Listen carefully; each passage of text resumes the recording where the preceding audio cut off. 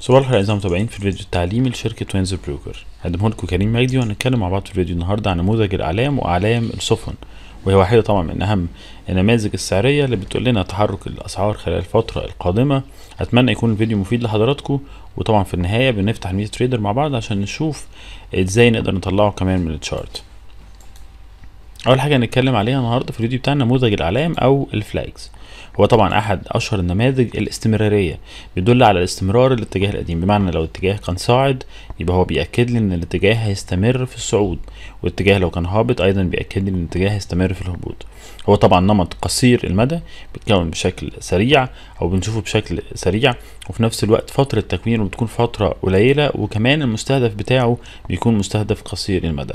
هو بيعبر عن استراحة قصيرة في الأسواق أو فترة لجني الأرباح أو لالتقاط الأنفاس أثناء الاتجاه. طبعا سواء كان صاعد أو كان هابط علشان يستمر ويقدر الشكل أو النموذج إن هو يكمل اعلى زي ما إحنا شايفين اتجاه صاعد والنموذج اتكون معانا عشان فترة هدنة والتقاط الأنفاس عشان يقدر يستمر بعد كده في اتجاهه. زي ما إحنا شايفين مع بعض بيتكون على تشارت بسيط زي هنا مثلا الفرانك وفي نفس الوقت بيكون فترة زمنية بسيطة يمكن ما تعداش ال 10 12 ساعة وبعد كده بيكمل طبعا استمراريته أو بيكمل اتجاهه الأعلى.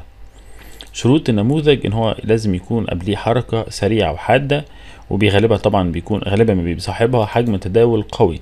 سرية العلم هي المسافة من أول دعم أو مقاومة تم كسرها حتى أعلى نقطة في العلم العلم ده بيكون عبارة عن مستطيل صغير بيتكون في منتصف الاتجاه سواء صاعد أو هبط زي ما إحنا شايفين مع بعض. أول حاجة هنتكلم عليها اللي هو الحركة السريعة. قبليها حركة سريعة اتجاه واضح طبعا إيجابي بدون أي حركات تصحيحية وده طبعا بيسمى الساري. بيبقى تحديد مكان الساري بيبدأ من آخر مقاومة. تم كسرها يعني هنا لما اتكسر المقاومة اللي كانت هنا ده بداية الساري بتاعنا.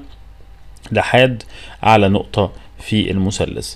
العلم نفسه أو عفوا العلم العلم نفسه اللي هو الشكل المستطيل اللي إحنا شايفينه. اللي بيكون فيه السعر في حالة تذبذب بسعر ضعيف جدا وغير واضح الاتجاه. بمجرد كسره بنبدأ مع بعض الاتجاه بتاعنا ونبدا نحسب المستهدف الجديد.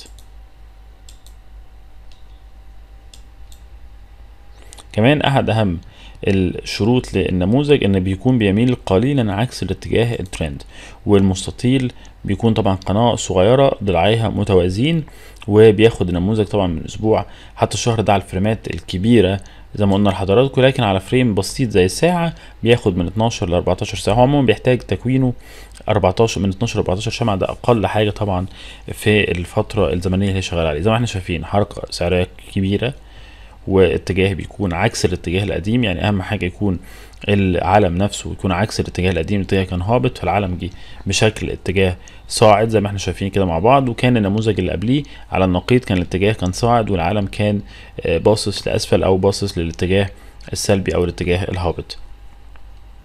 آه وزي ما قلنا بياخد على حسب طبعا ال frame لو هنا ال frame مع بعض كان يوم يبقى بياخد له من أسبوع طبعا حتى شهر تقريبا ليتكون تحديد الهدف الكسر طبعا في حالة ترند الصاعد بيحدث عند كسر يكسر الحد العلوي للعلم وبنحدد الهدف عن طريق حساب سعر العلم ثم جمعها على سعر الكسر في حالة ترند صاعد.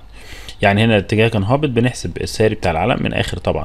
دعم هيكون اتكسر بنحسب المسافة دي وبنبدأ من منطقة الكسر اللي هيكسرها نبدأ نحسب مع بعض وده بيكون الهدف بتاعنا وهنوضح أكتر طبعا لما نفتح مع بعض التشارت. النموذج الآخر وهو طبعا شبيه جدا ليه هو علام السفن أو البيننس. وأيضا أحد أشهر نماذج الاستمرارية أيضا نمط قصير المدى بيكون كمان استراحة قصيرة أثناء الاتجاه سواء كان صاعد أم هابط زي ما إحنا شايفين هو بالظبط نفس الشروط نفس الخصائص. الشورت أو عفوا العلم أو المستطيل اللي إحنا لسه واخدينه علم السفن بيكون شبيهة ليه أو الفلاجز طبعا بيكون شبيه البينانس بيكون شبيهة جدا الفلاجز علم السفن بيكون شبيهة شبيهة للأعلام ساري ولكن هنا بيكون العلم عبارة عن مثلث وده الفارق الوحيد. وبعد كده بيكمل طبعا الاتجاه لأعلى أو على النقيض بيكمل لأسفل. شروط النموذج لازم قبلها طبعا تكون حركة أيضا سريعة ويكون حجم التداول قوي.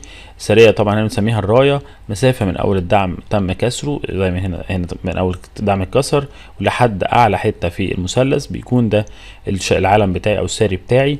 ومن بعديها ببدأ اقيس ان نفس اللي طلعوا هنا هيطلعوا مرة تانية بعد كسر النموذج لأعلى. طبعا مثلث متساوي الضلعين بيكون صغير جدا بيميل بشكل كبير للاتجاه المعاكس يعني لو اتجاه كان صاعد لازم يكون مايل لحد ما الاتجاه السلبي أو الهابط والعكس طبعا لو اتجاه كان هابط يبقى بيميل لأعلى. وبنحدد الهدف زي ما ذكرنا لحضراتكم في حالة الكسر بنبدأ نعمل تاني إسقاط علشان نعرف الاتجاه هيكون عامل إزاي. خلونا ننتقل مع بعض ونشوف التشارت ونشوف إزاي نقدر إن إحنا نخرج الشكل. طبعا إحنا بنبدأ ماشيين ورا أي حركة قوية زي ما حصل هنا مثلا في الجنيه البريطاني. ده نموذج الساعة. لو جينا عدينا عدد الشموع دول تقريبا هيكونوا أكتر من 12 شمعة. بحاجة بسيطة يعني واحد اتنين تلاتة أربعة خمسة ستة وادي زيهم. تاني حوالي 14 شمعة. زي ما قلت لكم بداية من 12 شمعة نبدأ نقول إن الشكل ممكن يتكون. ولكن هنا الشكل ممكن يكون هيحصل فيك أو هيتكسر وده أيضا معرض له. هنا الساري بتاعي بيبدأ من كسر المقاومة الدعم القبلية اللي هو عند 23 أو ال 24 فلات. هنا هنبدأ نقيس مع بعض المسافة دي. بنرسم خط عادي جدا ونبدأ نعمل إسقاط. من منطقة الكسر يبقى ده المستهدف بتاعي رايح تقريبا قرب ال 21 40 يبقى مرة تانية عشان نحدد الشكل الأول بنشوف الحركات القوية زي هنا مثلا بنمشي معاه كده بس آخره ما جابش معايا نموذج هنا حركة قوية ببدأ أشوف أدي رسمت معايا مستطيل مفيش يبقى مظبوط جدا مستطيل مايل لأعلى على عكس الاتجاه القديم. يبقى بمجرد حدوث كسر للخط الأسفل ليه هنبدأ نعمل إسقاط عشان نحدد الهدف بتاعه بنشوف قد إيه الساري بنقيس من آخر دعم اتكسر. وبنبدأ نشوف مع بعض الاتجاه رايح إزاي زي ما إحنا شايفين مع بعض يبقى التارجت بتاعه عند 21 40 وبكده نكون وصلنا لنهايه الفيديو. أتمنى إن هو يكون مفيد لحضراتكم بشكركم أكيد أعزائي المتابعين والسلام عليكم ورحمة الله وبركاته.